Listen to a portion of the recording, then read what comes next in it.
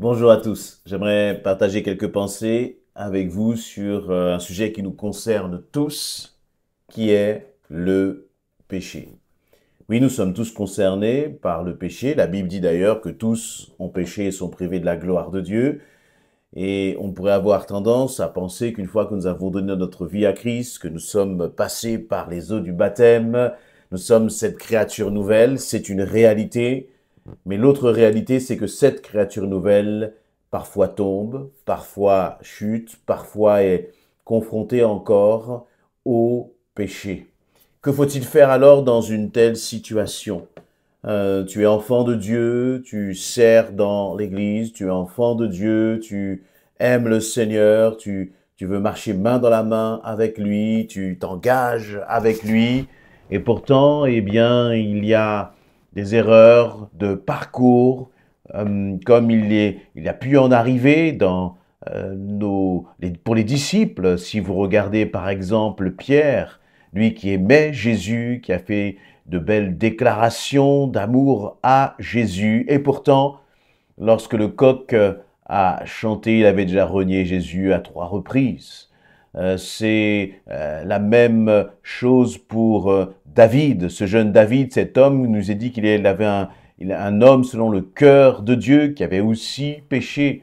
Quel est encore une fois, et puis sans aller même regarder ces, j'allais dire, ces héros de la foi, regardons nous-mêmes à nos propres agissements, nos propres pensées, avec euh, des péchés qui ont des conséquences plus ou moins graves.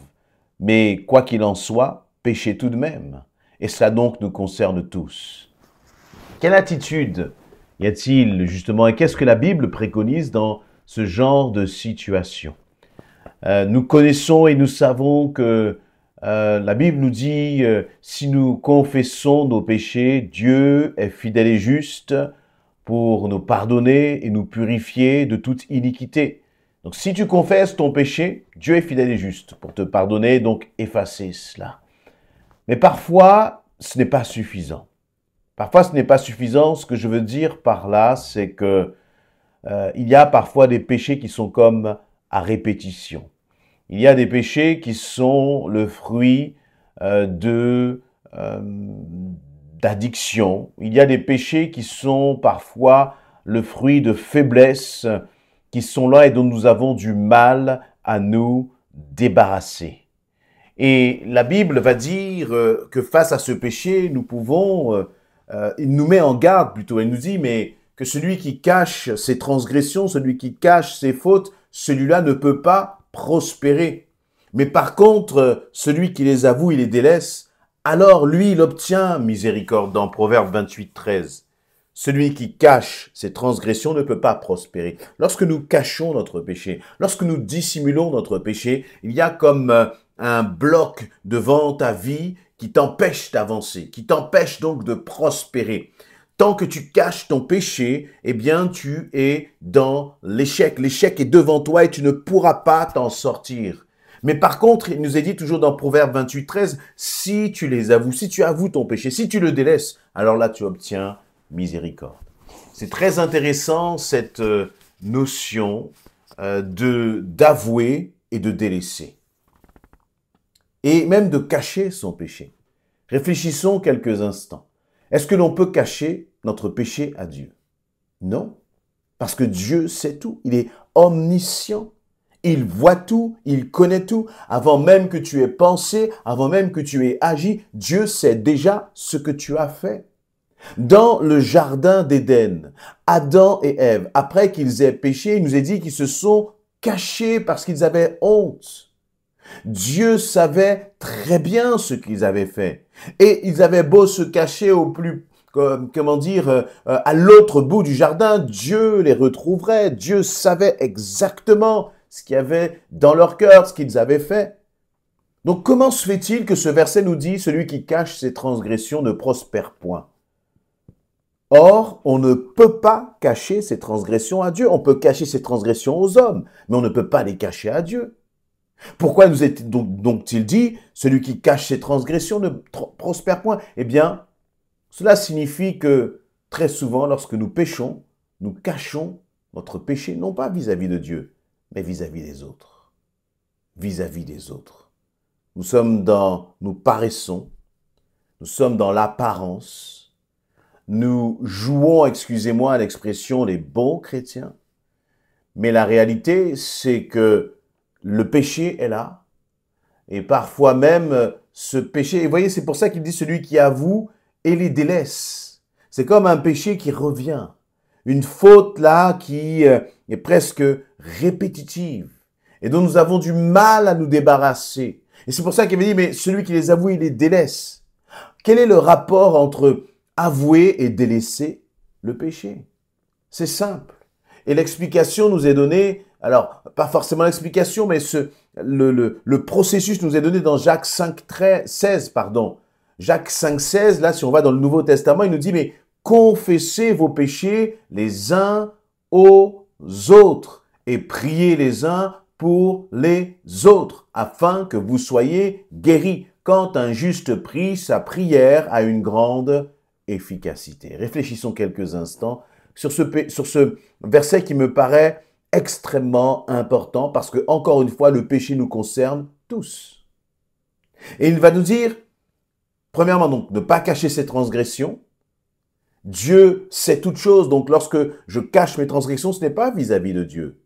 C'est vis-à-vis des hommes, vis-à-vis des autres. Je, j'ai peur de dire mon péché aux autres. Il ne s'agit pas là de, de crier son péché à tue-tête. Il ne s'agit pas de passer une annonce dans, sur le journal Le Bon Coin, euh, sur le site Le Bon Coin pour dire j'ai péché. Non, il ne s'agit pas de cela. Mais il s'agit de trouver un homme, une femme, un frère, une sœur qui est fiable, qui est spirituellement euh, capable, mature, pour m'accompagner dans ce combat contre le péché. Confessez vos péchés les uns aux autres. Il ne nous est pas dit confessez vos péchés tout simplement. Il ne nous est pas dit confessez votre péché à Dieu. Non, confessez votre péché les uns aux autres. C'est-à-dire dire ton péché à une autre personne. Pourquoi cela? Pourquoi cette démarche? Pourquoi la Bible nous demande cela? Premièrement, eh bien c'est justement pour ne pas recommencer. Et, vous voyez, il y a un lien entre confesser vos péchés les uns aux autres et prier les uns pour les autres afin que vous soyez guéris. C'est intéressant ce terme de guérison. Il y a la guérison qui est physique, le corps, la maladie, parce que certains péchés entraînent aussi la maladie, mais il y a aussi une guérison de l'âme. Celui qui va être dans l'addiction, prenons par exemple euh, euh, la masturbation, la pornographie, euh, prenons le jeu, par exemple. Tu as l'habitude d'aller au tabac du coin pour aller gratter et jouer avec l'argent que le Seigneur te donne. Toi, tu vas mettre ça dans des jeux ou ça peut être l'alcool ou toutes sortes de déviances qui ne sont pas à la gloire de Dieu et dont tu as du mal à te débarrasser. En général, ce que nous allons faire, c'est de dire Seigneur, je te demande pardon, et puis le lendemain recommencer. Mais par contre, si tu fais ce que la Bible dit, Jacques 5,16, si tu confesses ton péché à quelqu'un d'autre, à un frère, à une sœur, eh bien, ce frère, cette sœur, que va-t-il faire? C'est là où on a le lien entre confesser et prier dans ce verset-là. Il va prier pour toi. Il va prier avec toi. Confesser son péché aux autres, c'est commencer à reconnaître, à démontrer notre volonté de vraiment nous en sortir. Oui, ça, il y a une honte, bien sûr, parce qu'on n'est pas fier de ce que l'on fait, mais finalement, notre volonté de s'en sortir doit être plus grande que cette honte.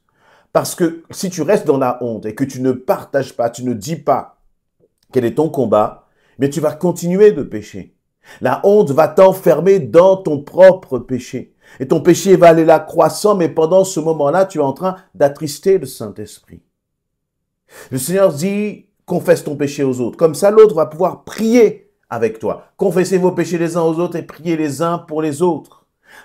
Mais le frère ou la sœur ne peut pas prier pour ce péché-là. Pourquoi? Parce que tu ne t'es pas confessé, tu n'as pas partagé, tu n'as pas ouvert ton cœur. Et tu pourras très facilement dire, euh, oui, oui, je vais m'en sortir tout seul, je vais m'en sortir toute seule, je vais le dire au Seigneur et ça sera suffisant. Sauf que ce n'est pas ce que la Bible dit. Ce n'est pas ce que la Bible te recommande de faire. Et vous savez, ce qui va se passer, c'est que finalement, ce péché, parce qu'il n'a pas été confessé, tu ne peux pas t'en débarrasser. Comme tu ne peux pas t'en débarrasser, eh bien tu vas être blessé. L'autre point important, c'est que le péché a des conséquences. Il crée des blessures dans nos vies. Et c'est pour cela qu'il y a dans ce même verset la dimension de la confession du péché et de la guérison. Quand tu pêches et que tu n'as pas respecté ce que le Seigneur te demande, c'est-à-dire d'aller voir un frère, d'aller voir une sœur pour te confesser, pour qu'il puisse prier avec toi, eh bien finalement la blessure qui a été causée dans ton cœur par le péché aura beaucoup de mal à guérir.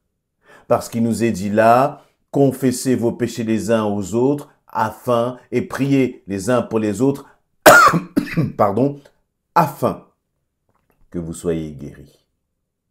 Remarquez une chose, le péché de Pierre a été connu publiquement, il est dans la Bible. Il a été relaté dans la parole de Dieu. Le péché de David, il a été relaté aussi dans la parole euh, de Dieu. Euh, et, le péché de beaucoup d'autres, le péché d'Élie par exemple, euh, a été aussi relaté dans la parole de Dieu. Le péché de Moïse, il nous a été relaté dans la parole de Dieu. Ce n'a pas été caché. Et pourtant, nous, nous cachons. Et pourquoi est-ce que nous cachons? Comme je le disais tout à l'heure, il y a cette dimension de honte, parce que ce n'est pas facile, bien sûr. Il y a aussi euh, l'orgueil.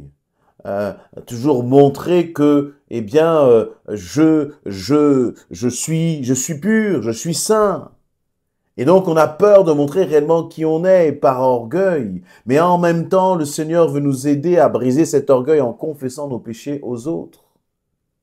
Et si le Seigneur nous dit de confesser le péché aux autres, c'est parce que, eh bien, nous avons aussi besoin des autres face à certains combats contre le péché.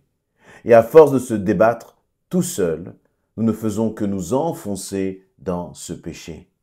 Et c'est intéressant parce que c'est dans ce verset-là qu'il nous est dit quand un juste prie, sa prière a une grande efficacité. C'est-à-dire que tu pêches, tu pourrais simplement demander pardon à Dieu et te, te confesser à Dieu, mais Seigneur dit, va voir ton frère, va voir ta sœur, pêche, priez ensemble. Et lorsque vous allez prier ensemble, eh bien là, la prière va avoir une grande efficacité. Il va y avoir guérison. Et je rajouterais même que cette guérison, c'est une délivrance finalement. Et puis la prochaine fois que la tentation va venir, tu te sentiras libre d'appeler de, de contacter ce frère ou cette sœur à qui tu t'es déjà confessé pour le dire, là, euh, je, je suis en train de, de, de, de, faillir, là, je suis en train de, de retomber, là, je suis, euh, vraiment, la tentation est forte, prie avec moi. Et finalement, en confessant ton péché aux autres, tu es en train d'anticiper, tu es en train de te mettre dans les bonnes dispositions pour ne pas retomber. Tandis que si tu ne l'as dit à personne, eh bien, personne ne pourra t'aider. Tu pourras toujours croire, et je me dis bien croire que tu n'as pas besoin des autres, mais je vois que, encore une fois, la Bible nous enseigne confesser nos péchés les uns aux autres. Et ça me rappelle vraiment euh, cette phrase de Caïn à son frère, suis-je le gardien de mon frère? Nous sommes les gardiens les uns des autres. Nous ne sommes pas là pour nous accuser, nous pointer du doigt, nous écraser, mais nous sommes là au contraire pour lutter, intercéder ensemble, intercéder ensemble. Et c'est encore une fois, je termine là-dessus, mais la, dimension de confesser vos péchés les uns l'autre et prier les uns pour les autres. il y a un ordre. Tu confesses ton péché de façon à ce que les autres puissent prier pour toi. Parce que sinon la prière est vague. Sinon la prière, voyez, elle est euh, presque Seigneur guéri, Seigneur guéri. Ah oui, mais derrière peut-être ce que le frère ou la sœur est en train de vivre, derrière sa tristesse, derrière cette dépression, derrière ce découragement, derrière cette déprime et derrière même cette maladie physique, n'y a-t-il pas à l'origine un péché qui n'a pas été confessé Je ne dis pas que c'est systématiquement le cas, mais en tout cas, nous voyons bien que dans Jacques 5,16, il y a un lien qui est fait entre la confession du péché la prière et la guérison. Soyons honnêtes, soyons des hommes et des femmes qui soient vrais devant Jésus-Christ et devant les hommes. Amen.